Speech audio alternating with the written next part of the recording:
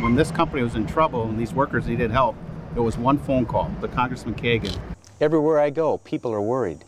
And that's why I've worked hard to push back against China, to protect jobs at Appleton Paper, brought a new VA hospital to Green Bay, and I'm leading the fight to secure 5,000 shipbuilding jobs to build our Navy's LCS ships right here in Wisconsin. He stood for us. He led us. I'm Dr. Steve Kagen. I approve this message because jobs are my top priority.